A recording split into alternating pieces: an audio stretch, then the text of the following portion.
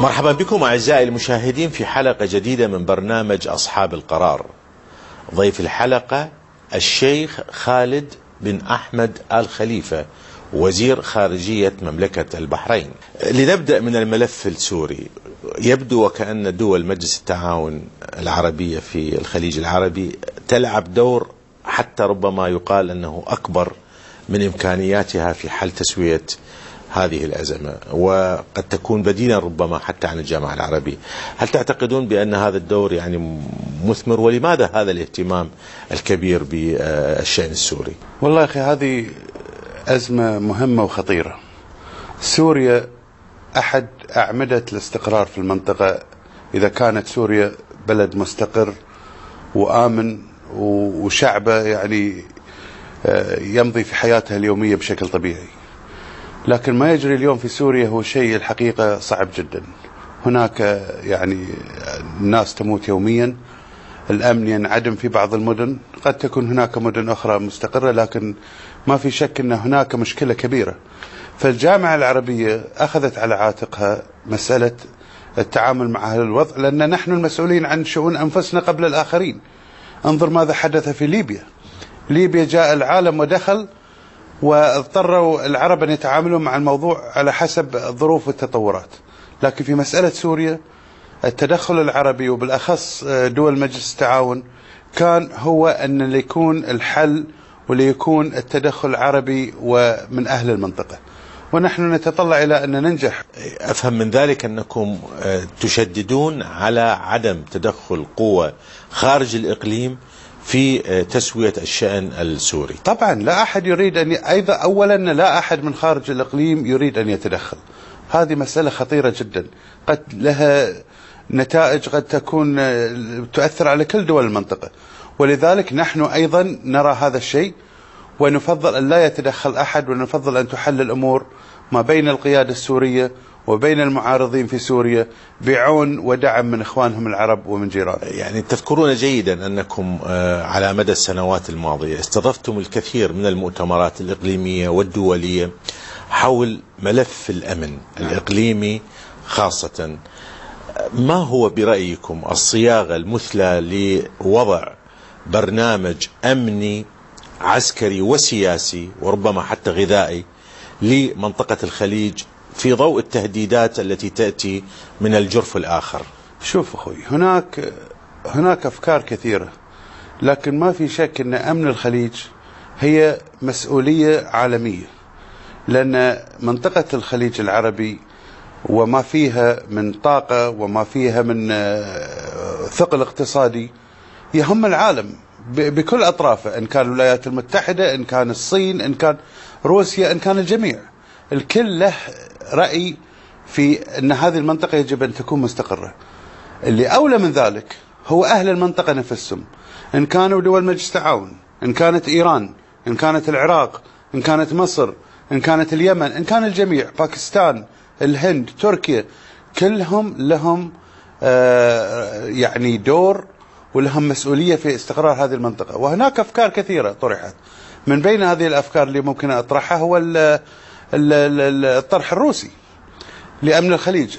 روسيا طرحت وهذه فكرة جيدة جدا رحبنا فيها في زيارة جلالة الملك حمد حفظه الله إلى موسكو قبل فترة. الطرح الروسي هو أن يكون لدول المنطقة وللدول الكبرى وللأمم المتحدة دور وتفاهم معين يصلون إليه لأمن هذه المنطقة. هذه فكرة عظيمة. نتمنى أن يتم التجاوب معها حسب ترتيبات وحسب تفاهمات بين كل المنطقة. ونرحب بهذه الأفكار. أي شيء يستثني مصالح أي دولة إن كانت في المنطقة أو في خارج المنطقة سوف لن ينجح. يجب أن يأتي الجميع إلى الطاولة يجب على الجميع أن يتفق. إذا دخلنا في الإجراءات ماذا تقترحون؟ هل تطرح هذه الفكرة على الجامعة العربية؟ تطرح في مجلس الأمن؟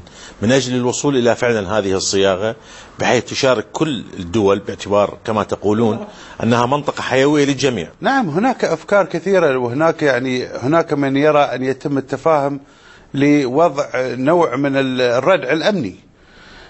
طبعا هناك أخطار كثيرة هناك دول في المنطقة تهدد استقرارها. أنا في بلد تو طالع اليوم من أزمة كان ما في شك إن استقرارها مهدد بشكل كبير والتحريض كان واضح حتى أيضا على وسائل الإعلام.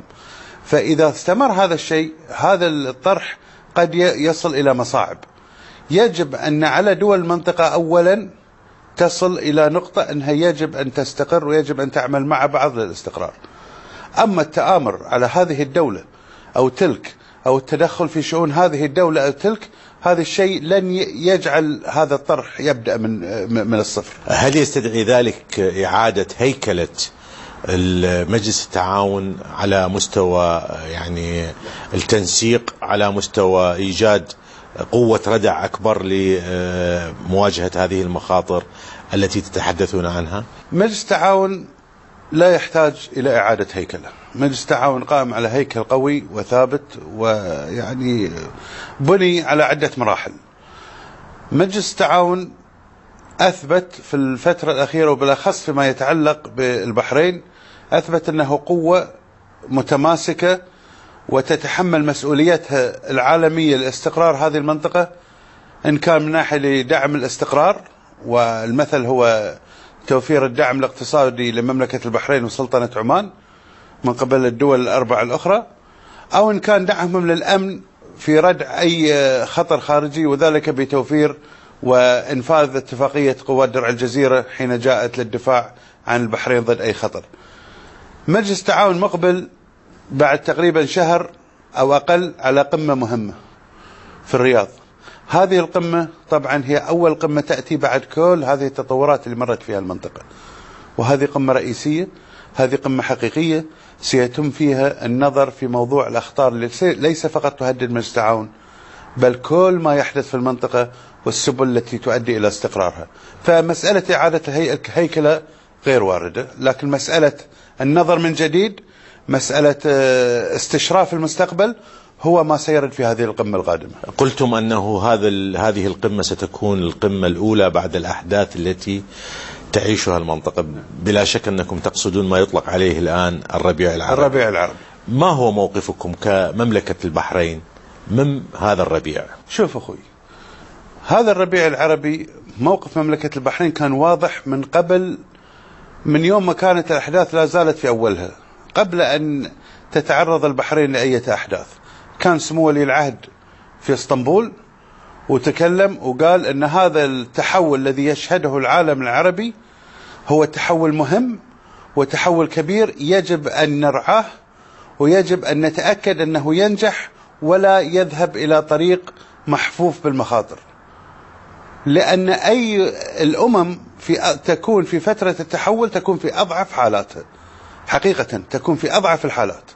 فيجب أن نتأكد أن تطلعات الشعوب للحرية للمشاركة للحقوق في كل مكان يجب أن تكون هي التي يتم الوصول إليها نتيجة لما هو في الربيع العربي.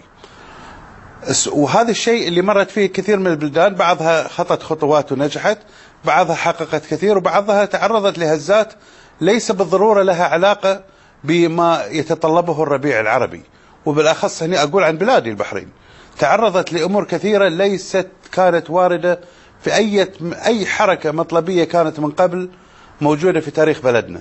كانت هم دائما هناك مطالب لكن ما حدث في هذه الفترة تضمن أيضا أمور أخرى. النقطة الثانية أن الربيع ليس فقط عربي. صحيح بدأ في بلد عربي في تونس. صحيح هو اتخذ الاسم الربيع العربي حين جاء إلى مصر اللي هي قلب الأمة العربية. لكن هل بالضرورة أنه يقف عند حدود العالم العربي؟ هناك دول كثيرة تحتاج إلى مثل هذا الربيع في هذه المنطقة وسيأتيها هذا الربيع ويجب عليها أن تنتبه إلى المستقبل. يعني هذه الدول التي سيأتيها الربيع آه، ربما آه، فعلا هو قد جاءها وتأجل ثم سيأتي لاحقا. آه، هل تعتقدون بأن هذه التهديدات الآن التي تصدر بضرب منشآت في إيران هي تهديدات حقيقية أم أنها في محاولة لخلق وضع متوتر في المنطقة أولا ودفع الناس إلى شراء المزيد من الأسلحة؟ هنالك من يقول في بعض الدوائر حتى الأمريكية أن هذا هو قعقعة في فنجان. أخي العزيز ليست قعقعة في فنجان. صراحة مسألة التهديد بضرب آه، وخصوصا من مصادر هذا التهديد هذه تهديد حقيقي. كلنا نذكر أن إذا نتكلم عن التهديد أن يأتي من إسرائيل أن إسرائيل قد هددت ونفذت تهديد في السابق وضربت مفاعل نووي في المنطقة. وأتي بهذا المثل مفاعل نووي العراقي. فماذا سيمنعهم من أنهم سيقومون باعتداء مثل هذا الشكل على إيران؟ هذا بيكون تطور خطير. هذا سيدخل المنطقة في على إلى حافة هاوية. الله أعلم شنو عمقها أو بعدها. نحن لا نريد أن يكون هناك أي اعتداء عسكري بأي شكل من الأشكال إن كان على إيران ومنشآت النووية أو على غيرها. ما نطمح إليه هو السلم. كل اللي نتطلب من إيران نطلبه هو أن برنامج النووي يكون شفاف كامل. وهذا ليس بطلب كبير هذا العالم كله يطلبه. أكرر هنا من حق إيران الطاقة النووية بكل شكل للأغراض السلمية. هناك اليوم تقارير من هيئة الطاقة الذرية تشير وتلمح إلى أن هناك إمكانية في في في تسليح آه، أو أو إدخاله في بعض السلاح weaponization لهذه الطاقة النووية. هذا هو الشيء الخطير. هذا في تهديد لكل المنطقة. لماذا الحاجة لهذا السلاح النووي؟ إن كانت هناك شفافية كاملة إن تم تعيين المراقبين مكان المراقبين الذين قدموا استقالتهم وأن يفتح ذلك الباب. إن أعيدت الكاميرات بكل طاقتها إلى كل الأماكن التي تراقبها الهيئة. نخاف من ماذا؟ إذا كانت هي طاقة سلمية. هذا هو المطلوب. إن تم ذلك فنحن سنكون من أوائل المدافعين وبكل علنية عن هذا البرنامج النووي الإيراني. لأنه يثبت لنا أنه هو برنامج آه، آه، مدني وسلمي وبكل شفافية. الآن ليست عندنا هذه الصورة ولا نقدر أن نتخذ أي خطوة بهذا الشكل. يعني كما تعلمون أن إيران تنفي أن لديها برنامجا عسكريا وإن كان هذا النفي يعني غير آه، مقترن بدلائل. فيما يتعلق استطرادا فيما يتعلق بالاستخدام السلمي للطاقة النووية. أشير في أكثر من مناسبة إلى أن بلدان الخليج العربية تسعى إلى امتلاك ناصية الطاقة السلمية النووية. هل لديكم أيضا في مملكة البحرين باعتبار أن موارد البحرين من الطاقة ليست كبيرة مثل ما هو موجود الأمر عليه مع الجارات الأخريات اللجوء إلى هذا الطاقة البديلة وهل ستكون روسيا المعروفة بأنها تمتلك خبرة طويلة في بناء المفاعلات شريكا لكم في هذا الأمر؟ شوف أخوي مسألة الطاقة النووية مسألة يجب أن ينظر لها في إطارها الصحيح أنها طاقة بديلة جديدة تأتي اليوم مثل ما كنا يوم من الأيام الناس تحرق الخشب بعدين قامت تحرق الفحم وبعدين صرنا عندنا الهيدروكربونات وهناك الطاقة النووية وهناك الرياح وهناك الشمس وهناك الطاقات المتجددة. هذه الطاقة هي أحد البدائل التي تنظر فيها حكومة البحرين وتنظر فيها دول المنطقة كلها على حدة وينظر فيها أيضا مجلس التعاون كمجموعة. في إطار في طور بحثي الآن في في دراسات. نحن وقعنا مع روسيا مذكرة تفاهم في هذا المجال في أثناء زيارة جلالة الملك الأخيرة إلى هناك. وطبعا روسيا هي دائما شريك حقيقي للمنطقة في في أمور كثيرة. روسيا هي دولة مجاورة. في خلال ساعتين ثلاث ساعات ساعتين ونص تطير من البحرين أنت تدخل في المجال الروسي. روسيا دولة جارة عندنا في المنطقة فأيضا سيكون هناك تفاهم في هذا الشأن. لكن لا زلنا المجالات الطاقة النووية كثيرة. هناك مجالات في الكهرباء مجالات في الصحة مجالات في البحث العلمي أمور كثيرة. لا زلنا في إحنا في مسألة إنهاء الإطار القانوني. وطبعا ما في شك إن روسيا دائما بحكم قربها بحكم صداقتها بحكم علاقتنا معها سيكون هناك يعني دور كبير في العمل مع روسيا في هذا المجال. بس لم نصل إلى تلك المرحلة إلى الآن. إذا عدنا إلى التقرير الذي نشر مؤخرا حول اللجنة التي شكلتها مملكة البحرين اللجنة المستقلة. وخطاب العاهل البحريني الذي دعا فيه لمبادرة تعتبر نوعية الآن في العالم العربي عدا عن كون التقرير أيضا حالة نوعية هي تشكيل محكمة عدل أو محكمة لملاحقة ومتابعة انتهاكات حقوق الإنسان في العالم العربي. هل سيبقى هذا الاقتراح في حدود الخطاب الملكي أم أنكم تعتزمون طرح هذه المبادرة في المنظمات الإقليمية والدولية. الخطاب الملكي كان فيه توجيه واضح. لكافة أجهزة الدولة للعمل مع هذا التقرير في كل مجال. والخطاب الملكي أيضا تضمن مقترحات مهمة مثل هذا المقترح بإنشاء محكمة عربية لحقوق الإنسان. على غرار المحكمة الأوروبية لحقوق الإنسان على غرار محكمة الأمريكتين في سان خوسي آه، كوستاريكا لحقوق الإنسان. هذه المح... هذه منطقتنا هنا تفتقر إلى محكمة مثل هذا. منطقتنا شهدت آه، يعني مخالفات جسيمة لحقوق الإنسان في في بلدان كثيرة. يجب أن ندخل الآن مرحلة جديدة من المحاسبة. أن كل مسؤول أمني يجب أن يرى سلطة قضائية أعلى منه إن كانت في البلد أو كانت في المنطقة أه تحاسبه على هذا الشيء. ويجب أن نخطو هذه الخطوة لنخطو مع العالم إلى الأمام. وهذه خطوة مهمة جدا سأنقلها إلى الأخوة والأشقاء بصفة رسمية في جامعة الدول العربية. يعني هل تعتقدون أن العقلية الرسمية العربية مستعدة لقبول مثل هذا الاقتراح؟ وليش لا؟ هذا الموضوع طرح من ملك مملكة البحرين قيادة رسمية عربية. وسيتقبلونها. هناك تحولات كثيرة تجري في في العالم العربي. وهذه الفكرة إن لم تنفذ اليوم ستنفذ غدا. لكن اليوم إحنا بعد ما مرت فيه بلادنا من محنة حقيقية وبعد ما واجه آه، جلالة الملك الحقيقة وجعل الجميع يستمعون إليها في مجلسه في, في, في مكانه هذه أحد الأمور التي يجب أن ننظر إليها الآن بأسرع وقت ممكن. إن حصلت الآن فنكون بنكون سعيدين جدا. إن لم تحصل الآن وواجهت عقوبات ستحصل في يوم من الأيام. لأن هذا هو الطريق الذي مشى فيه العالم كله. وليس لنا أي طريق آخر. هل تعتقدون بأن التنسيق الحاصل الآن بين دول مجلس التعاون الخليجي سيصل بها إلى حدود الوحدة على غرار الوحدة الأوروبية بمعنى العملة الموحدة وإلى آخره من آه، يعني المظاهر التي آه، تجعل من هذا التكتل السياسي الاقتصادي الاجتماعي وحدة متكاملة بدون شك. وكأنها يعني تكون فاتحة لوحدة الإقليم. شوف بدون شك. أنت شوف مقومات آه، مجلس التعاون آه، لدول الخليج العربية. إن كان في آه، الإطار إن كان في الاتفاقية الاقتصادية إن كان في الاتحاد الجمركي إن كان في أمور كثيرة أدت يعني إن كان في الهيئة الاستشارية. كلها أمور إن كان في الخطة تجاه وحدة النقد.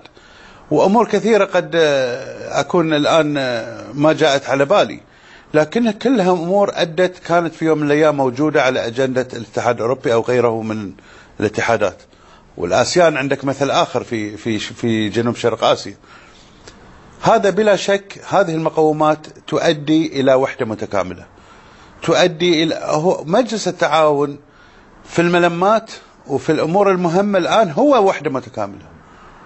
وفي إعانة أشقائه في اليمن إن كان أو في في أمور كثيرة هو وحدة متكاملة. يعني نقف دائما كوحدة متكاملة في أمور كثيرة. هذه كلها مؤشرات واضحة تشير إلى أن هذا المجلس وجد ليبقى ووجد ليتطور إلى أن يكون تكامل ما بين كامل دولة في وحدة متكاملة.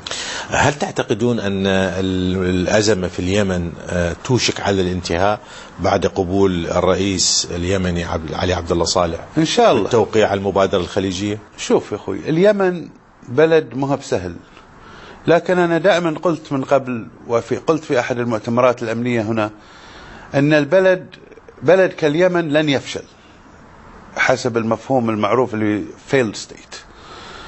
اليمن لن يفشل كبلد. قد يفشل أحد الأنظمة في الإمساك بزمام الأمور أو في أخذ البلد حسب سياسة ناجحة إلى الأمام. لكن البلد يشيل نفسه. وما هذا الاتفاق الذي وقع وقعه الرئيس علي عبد الله صالح أمام خادم الحرمين الشريفين وكان يوم مهم وكنا حاضرين وكان الوزراء موجودين من كل دول المستعاون إلا خطوة مهمة في هذا الاتجاه. وتثبت أن هناك مسؤولية. فأنا أتوقع ولدي شيء من التفاؤل أن اليمن سيجتاز هذه المحنة. لكن ما أود أن أؤكد عليه الآن أن التزام مجلس التعاون باستقرار اليمن سيستمر إن كان ذلك قبل بالتعاون مع دول العالم في دعم اليمن. أو كان ذلك بالمبادرة الخليجية حين دخل اليمن في الأزمة وأيضا فيما بعد انتهاء الأزمة إن شاء الله سيستمر دور مجلس التعاون في دعم اليمن. هنالك ملف آخر مقلق أيضا في المنطقة هو الملف العراقي خاصة بعد الانسحاب الذي تقول الولايات المتحدة أنه سيكون انسحابا كاملا وأن تتردد أخبار الآن أن الحكومة العراقية برئاسة المالكي تطلب من الأمريكان إبقاء حوالي عشرة آلاف جندي أمريكي. هل تعتقدون بأن هذا الملف المقلق إلى جانب الملفات المقلقة الأخرى في الإقليم تحتاج إلى جهد عربي أكبر من أجل تسويتها؟ وكأن العرب تركوا العراق وحيدا في هذه المحنة. يعني هكذا يتصور العراقيون الذين يعانون من وطأة الوضع الأمني والسياسي في بلادهم. أخي الكريم أن الكلام أن العرب تركوا العراق وحيد هذا كلام الحقيقة في يعني جانبه الصواب. يعني لا ليس ليس ليس من الصحيح أن يقال هذا الكلام. بعطيك أمثلة. بعد آه، ما صار التغيير في العراق وسقط الرئيس آه، صدام حسين وجاءت الحكومة الجديدة وجاء فترة الفترة الانتقالية من الذي دعا جميع الأطراف العراقية إلى الاجتماع؟ غير الجامعة العربية. جاءوا كلهم عن بكرة أبيهم كلهم من كل حزب من كل مجموعة. أو بعدين اتفقنا أن يكون الاجتماع الثاني في العراق. إلى هذا اليوم لم يحدث هذا الاجتماع اللي كان برعاية جامعة الدول العربية. من هي الأطراف اللي كانت في مجموعة دول جوار العراق؟ نحن كنا البحرين كنا من أحد هذه الدول. والكويت والمملكة العربية السعودية والأردن وسوريا إضافة إلى تركيا وإيران. وبعدين من كان من الذي فتح السفارات في العراق؟ نحن البحرين فتحنا سفارتنا في بغداد. نحن البحرين أول دولة عربية فتحت قنصلية في النجف. مصر فتحت سفارتها وقتل لهم سفير. دول كثيرة الإمارات العربية المتحدة. المسألة هي مسألة أمنية في المقام الأول في العراق. المسألة هي مسألة تدخلات إرهابية. تدخلات بشكل يعني يروع إن كان الشعب العراقي أو أيضا الوجود العربي فيه في بغداد. نعم يعني أردت أن أسمع منكم أيضا هنالك دعوات تنطلق في المنطقة وخاصة في الكويت.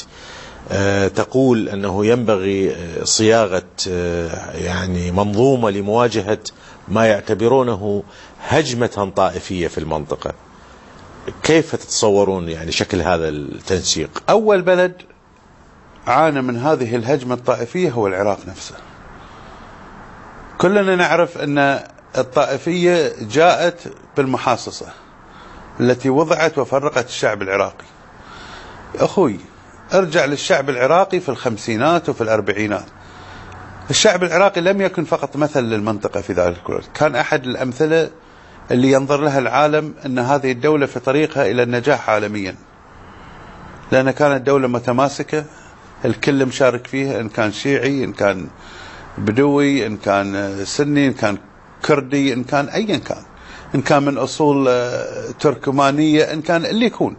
كانت دولة فيها فيها حكومة وفيها برلمان وفيها قضاء مستقل ودولة ناجحة وفيها دستور من خيرة الدساتير في العالم. اليوم بعد ما سقط آه، الرئيس صدام حسين دخلنا في شيء خطير اسمه المحاصصة. ومن ثم دخلنا في مرحلة خطيرة بعد بعد تفجير آه، آه، سامر ودخلنا في قتل قتل على أساس طائفي ما بين الطائفتين. نحن البحرين هنا كنا نقول دائما نفخر إن إحنا نحن مثل للتعايش الطائفي وأيضا التعايش الديني أو التعايش العرقي في المنطقة كلها. نحن لا زلنا كذلك. لكن المشكلة اللي قاعدة تمر فيها المنطقة هذه اللي تكلم عنها الأخوة في الكويت عانينا منها في البحرين. وستعاني منها دول أخرى إذا ما واجهناها. فلذلك الدعوة لمواجهة هذا المد الطائفي يجب أن تكون دعوة مهمة. دولة الكويت لما بنت الميناء ميناء مبارك الحكومة العراقية رسميا كانت تقول لهم أن ليس هناك مشكلة. لكن أحد الوزراء في الحكومة العراقية كان هو الذي يثير المشاكل والكل يعرف انتماءات الطائفية. الطائفية سلاح خطير يجب أن نواجه لأنها تفكك المجتمعات وليس فقط تهدد الدول تهدد كل فرد منا تهدد حياتنا في كل في كل مجال. ولذلك نتفق مع الأشقاء في الكويت إن هذا موضوع مهم ويجب العمل بشكل جماعي لمواجهته. وليس فقط دور رسمي بل يجب أن يكون هناك دور اجتماعي. إن كان ديني إن كان آه، من مجتمع مدني يجب أن يأخذ هذا بكل اهميه وأخيرا كيف تقومون العلاقات الروسية مع مملكة البحرين؟ وهل في النية يعني زيارات أخرى متبادلة؟ الوزير لافروف سبق وأن زار المملكة والعاهل البحريني زار موسكو وأعتقد أن البحرين يعني في طريقها لأن تكون شريكا مهما لروسيا في المنطقة؟ نحن نتطلع حقيقة يعني خصوصا بعد ما ذكرت بزيارات زيارة جلالة الملك و والزيارات الرسمية الأخرى من نائب رئيس الوزراء سيد زبكوف إلى البحرين. زيارة أيضا قبل السيد سيرجي لافروف صديقي ونعمل مع بعض في كل مجال.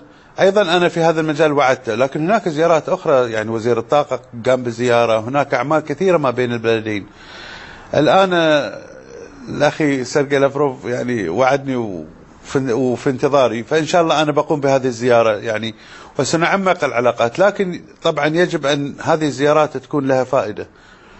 إلى أين سيخطو البلدين في التعاون المشترك وفي بناء المصالح المشتركة؟ نحن هدفنا الآن هو بناء مصالح مشتركة ليس فقط مع البحرين بل أيضا مع كل دول مجلس التعاون. أنت لما تتكلم مع دولة من دول مجلس التعاون تتكلم مع الكل في أي دولة منهم. فنحن نتطلع أن نكون مع روسيا شركاء أساسيين لأمن واستقرار وتطور ونماء هذه المنطقة. الشيخ خالد بن أحمد آل خليفة وزير خارجية مملكة البحرين شكرا جزيلا لكم على هذه الإيضاحات. ولكم أعزائي المشاهدين أطيب التحيات وهذا سلام مسافر يحييكم من العاصمة البحرينية المنامة.